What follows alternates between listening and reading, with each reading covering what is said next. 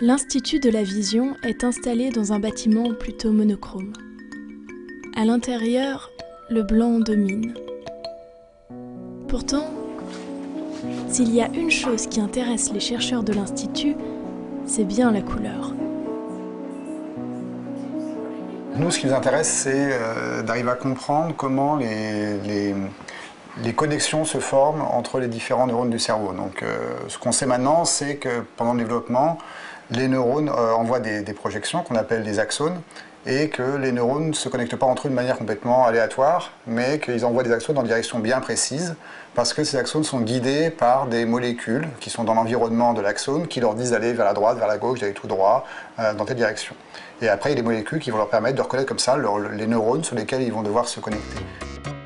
Y a pas mal de pathologies qui sont euh, dues à des défauts de formation de ces connexions. Des personnes par exemple qui ont des strabismes, dans de nombreux cas maintenant, on sait que les anomalies de mouvement des yeux sont dues au fait que certains axones vont pencher sur les mauvais muscles.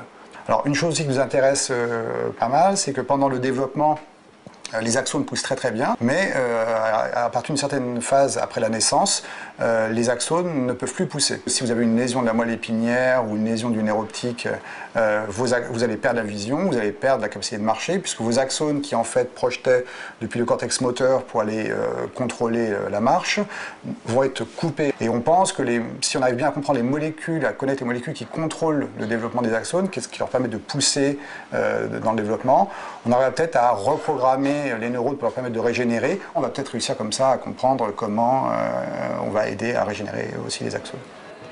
Ce que l'on fait tous dans ce département, c'est de bloquer l'expression de certains gènes dans des neurones, en tout cas de modifier l'expression de certaines molécules et d'étudier les conséquences sur le développement. Et donc pour ça, il faut développer des approches qui permettent de visualiser les différentes cellules.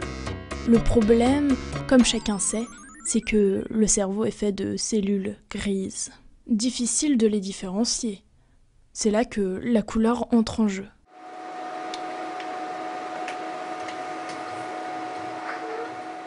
C'est une approche qui consiste en fait tout simplement à euh, colorer ces cellules avec des, leur attribuer des couleurs différentes.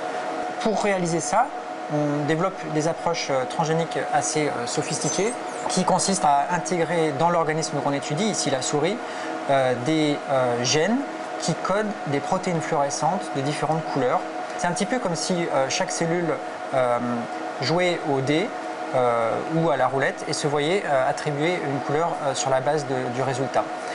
donc c'est ce qu'on voit ici en fait sur, sur l'écran. Vous voyez ici du rouge, du violet, du jaune. L'idée en fait c'est de pouvoir avec ces couleurs de voir comment les circuits neuronaux, les neurones sont organisés les uns par rapport aux autres et sont connectés les uns par rapport aux autres dans le cerveau et aussi dans la rétine qui est une partie du système nerveux central. donc ça c'est un premier point. Euh, et deuxièmement, d'essayer de euh, suivre pendant le développement les cellules alors qu'elles sont en train de migrer vers leur position finale dans l'organisme. Avant de passer à l'étape euh, in vivo, on, vraiment on essaye de valider au maximum nos transgènes multicolores en, en, utilisant donc, des cultures de cellules où on va vraiment tester leur capacité d'exprimer différentes euh, protéines fluorescentes avec les différentes couleurs. On utilise euh, des neurones qui sont prélevés sur les animaux au cours du développement. Et ensuite, ces neurones sont mis en culture pendant euh, un certain temps. Puis on utilise ce type de microscope qui nous permet en direct de regarder les neurones qui sont en train de migrer au sein de leur environnement et dans, des tranches de cerveau en fait. On peut alors étudier les contacts qui se font entre les neurones et visualiser de manière euh, aisée euh, leur prolongement et les différencier les uns des autres.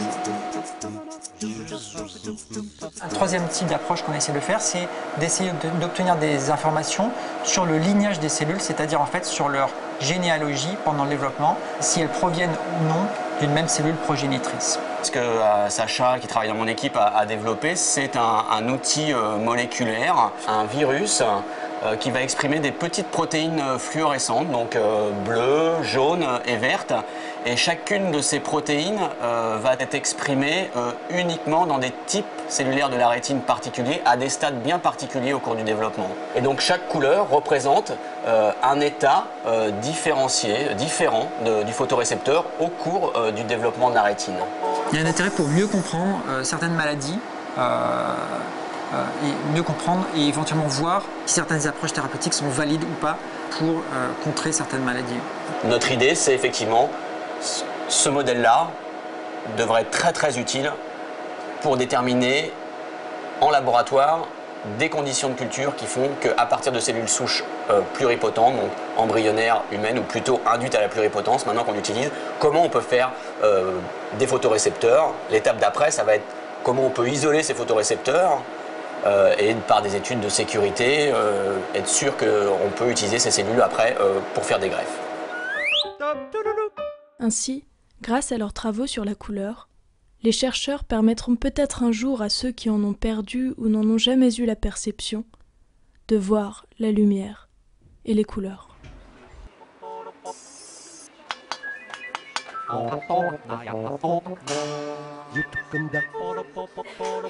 Thank you.